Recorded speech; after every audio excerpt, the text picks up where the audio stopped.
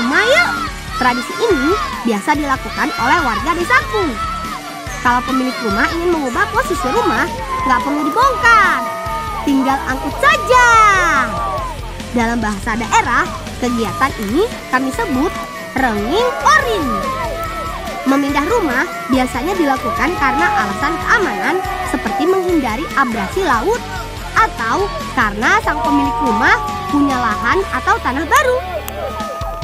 Proses angkat rumah dipimpin oleh seorang ketua yang akan memberi aba-aba alias pemimpin upacara. Semua sisi rumah termasuk bagian dalam dipanggul secara bersama-sama.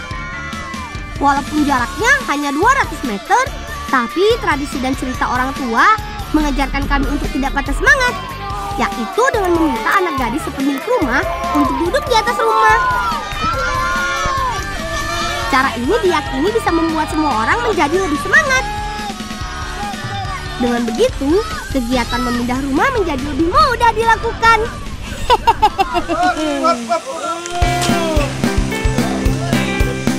Yorgi pasang pan Yorgi. Ah, jangan tadi mampu lah. Ah, Rego terus lewat Ah, bye bye bye. Setelah sampai di tempat tujuan, kami akan memasang batu penyangga tiang. Dengan batu penyangga, tiang rumah atau liri akan lebih kuat dan tidak mudah ambles. Nah, teman, ini dia acara penting yang tidak boleh kami lewatkan, yaitu makan bersama.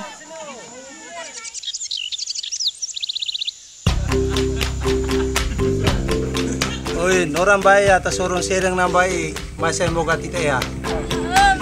Teman, melakukan kegiatan bersama-sama memang selalu menyenangkan. Tidak hanya meringankan pekerjaan, tapi semangat kebersamaan membuat kami semakin kompak. Ini dia hidangan tradisional yang punya rasa internasional. ada pisang rebus dan sambal ikan asin, ada juga kue bulat dan kue rambut. Rasanya manis dan gurih banget. Uniknya, pemilik rumah tidak menyiapkan hidangan makanan sendirian, tapi kerabat dan tetangga juga ikut membantu. Seperti pada saat membuat kue rambut ini. Ayo, teman, semangat! Sebelumnya, Bibi meminta kami menyiapkan daun kelor atau daun motong. Dari buku yang aku baca, kelor punya banyak sekali manfaat. Salah satunya protein yang baik untuk tubuh. Makan kelor bikin tubuh jadi lebih kuat dan terjaga dari serangan penyakit.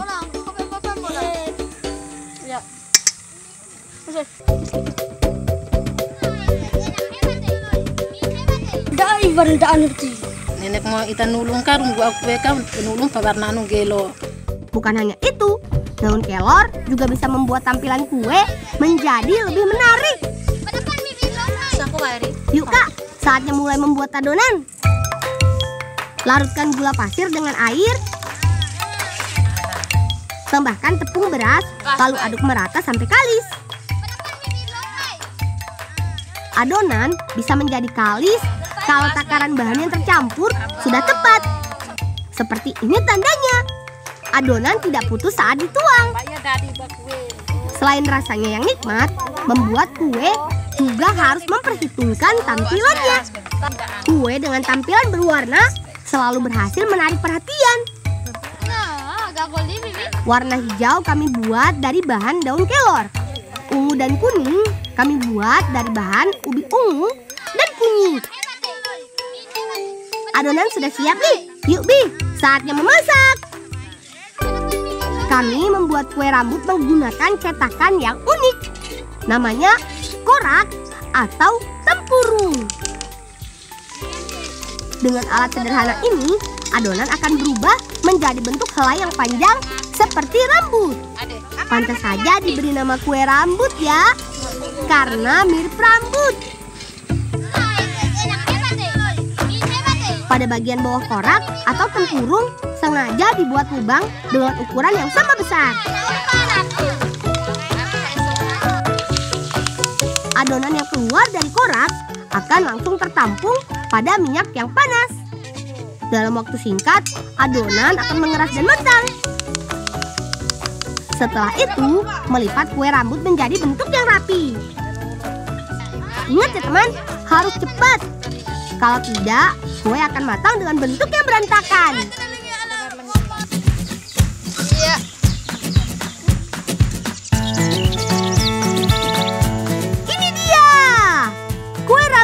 Kami si bolang talibura.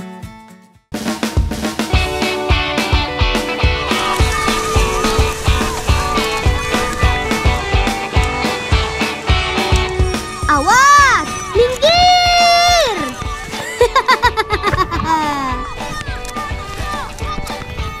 Meskipun terlihat seperti main perang-perangan, tapi sebetulnya kami sedang sibuk menggiring ikan loh teman. Teman di rumah mau ikut basah-basahan? Yuk, gabung bersama kami.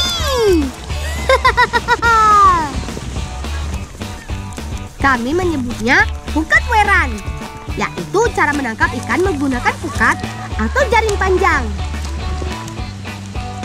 Ukuran jaringnya bisa sampai 100 meter lebih. Itu artinya kami perlu banyak bala bantuan nih. Ayo, semangat! Cara tangkap seperti ini biasa kami lakukan pada saat terjadi perubahan kedalaman air, yaitu pada saat menjelang air laut pasang atau pada saat surut. Perubahan ini biasanya menimbulkan arus bawah air. Akibatnya banyak ikan yang terseret bersama arah gerakan air. Nah, ini saat yang tepat menjeratnya menggunakan pukat. Pukat kami bentang dan bergerak berlawanan dengan arah arus air. Ayo teman, maju! Sedikit lagi. Dan angkat! Hore! Berhasil! Ini hasil tangkapan kami hari ini. Ada ikan hada atau baronan, ikan ketampang, dan beberapa jenis ikan karang lainnya. Wih, bibiku di rumah pasti seneng banget nih.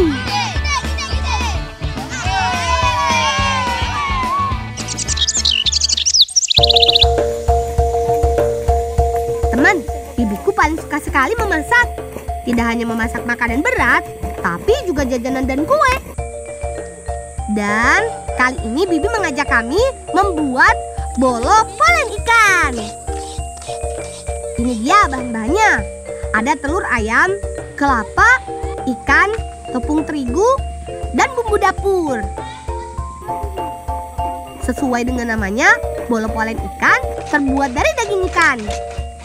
Nantinya, ikan akan dimasak bersama dengan kelapa parut dan bumbu halus. Hasilnya akan dijadikan isian dari kue yang akan kami buat. Kalau ada isi, berarti harus ada juga kulitnya. Untuk bagian ini, kakak yang bertugas menyiapkan. Kulit atau pembungkus bolo polen terbuat dari adonan roti. Begini cara membuatnya. Campurkan air bersama gula pasir dan telur ayam. Kemudian aduk terus sampai mengembang. Tambahkan juga susu kental manis dan tepung terigu. Aduk lagi sampai adonan kalis dan padat. Cara ini sama seperti kalau teman di rumah membuat roti goreng. Biar semakin menarik, buat adonan dalam beberapa warna ya. Selanjutnya, diamkan beberapa saat sampai adonan roti mengembang. Wala nga ibumbe meruk bay taga bantu misba. Di pansay. Apa? Bibi pansay.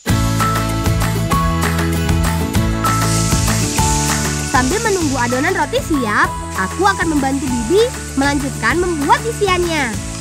Sangrai bumbu halus, kemudian masukkan ikan dan parutan kelapa. Aduk terus sampai matang.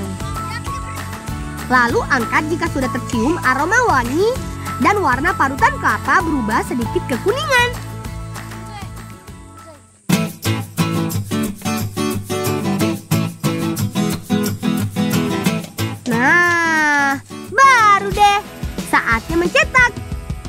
Caranya dengan memasukkan serundeng ikan ke dalam adonan roti. Kemudian gulung memanjang. Pastikan tidak ada bagian yang terbuka ya teman.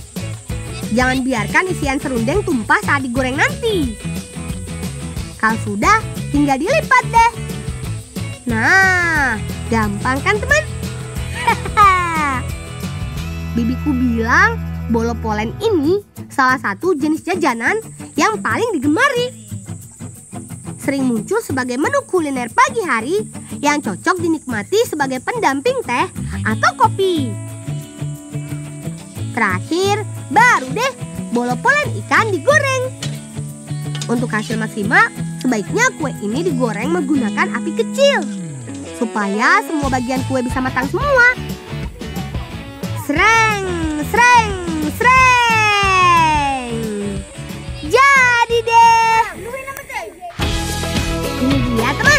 Bolo polen ikan.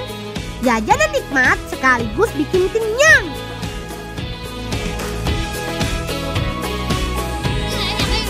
Enak. Rasanya gurih. Tapi ada pedis-pedisnya gitu. Jadi pengen nambah terus. Teman, selalu jaga kesehatan dan tetap semangat.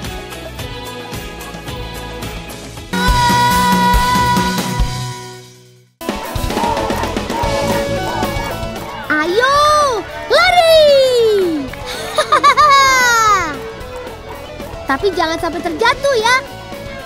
Hayo, teman-teman di rumah, kalian pernah main seperti ini tidak? Di tempat kami permainan dari bambu ini disebut jeka. Seru kan? Jangan salah, perlu keseimbangan dan kecepatan dalam memainkannya. Hampir semua teman-temanku, baik laki atau perempuan, bisa memainkan jeka. Oh iya, hampir lupa. Kami si Bolang dari desa Butu Pamboang, Sulawesi Barat. Saat musim kemarau, kami biasa memainkan jeka. Karena permainan ini memerlukan tanah yang keras untuk pijakan bambunya. Kalau kalian bermain ke Majene, jangan lupa mampir ke desa kami ya.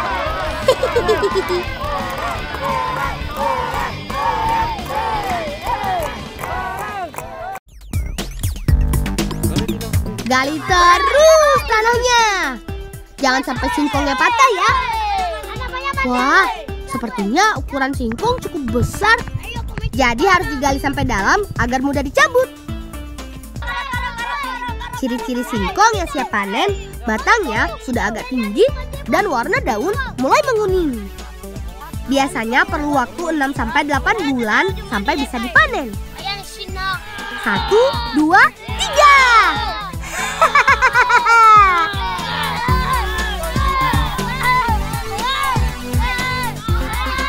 Kami terlalu bersemangat mencabut singkongnya.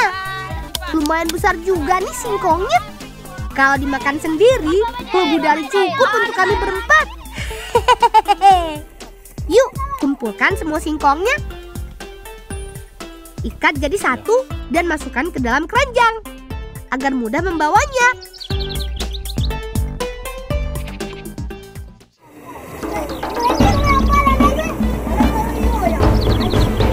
Hati-hati melangkah teman. Bebatuan karang ini lumayan licin. Apalagi sambil membawa singkong. Tapi tenang, kami sudah biasa melewati jalan ini. Walau lumayan susah, tapi ini jalan tercepat menuju ke rumah kami. Ayo teman, bergegas. Pasti sudah banyak ibu-ibu yang menunggu singkong yang kami bawa.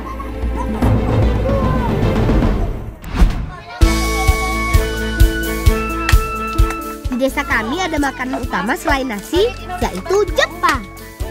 Hampir semua warga di desa kami selalu mengkonsumsi jepa. Eits, singkongnya bukan langsung dimakan ya, tapi harus diolah dulu. Pertama, kupas semua singkong dari kulitnya.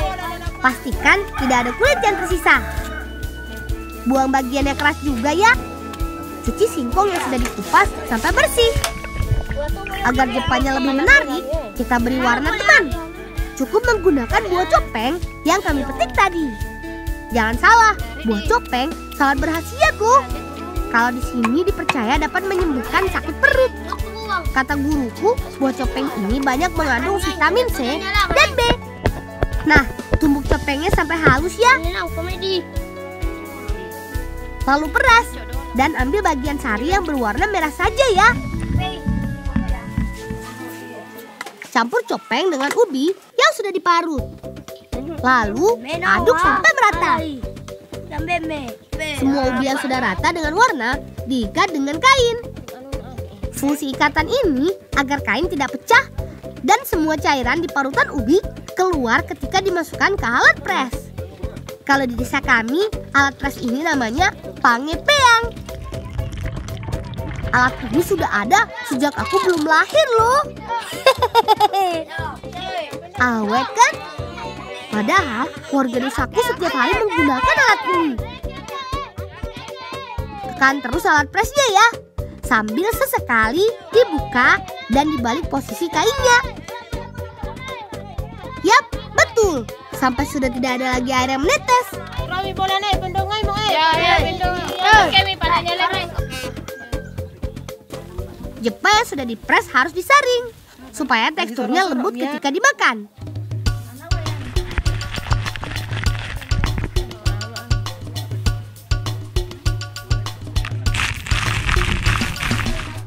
Ini dia alat tradisional untuk memasak Jepang. Menggunakan dua piring yang terbuat dari tanah liat. Panaskan dulu kedua piringnya. Lalu ampas ubi ditaruh di antara kedua piring.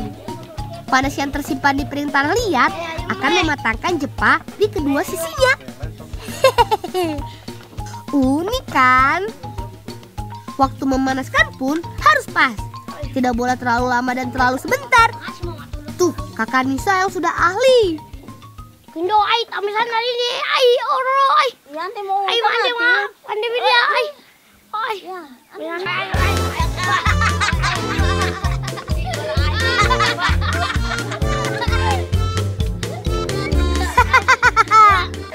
Sepertinya Arwan sudah lapar. Sabar ya, sedikit lagi jadi kok.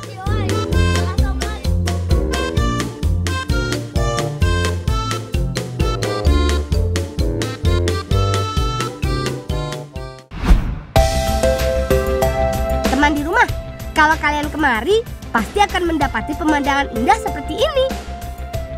Yap, tapi belum lengkap tanpa makan-makan. Apalagi sambil ditemani kakak-kakakku yang cantik-cantik. Jepang mengandung banyak karbohidrat, teman. Makanya bisa sebagai pengganti makanan pokok. Jepang biasa dinikmati bersama lauk atau sayur. Dan yang paling enak dimakan dengan ikan kuah kuning seperti yang kami nikmati ini. Tempat kami menikmati Jepang ini bernama Tara Ujung Pambuang. Kalau kalian berkunjung ke desaku, jangan lupa mampir ke tempat ini ya. Kalau cuaca sedang bagus, matahari tenggelamnya cantik sekali. Teman,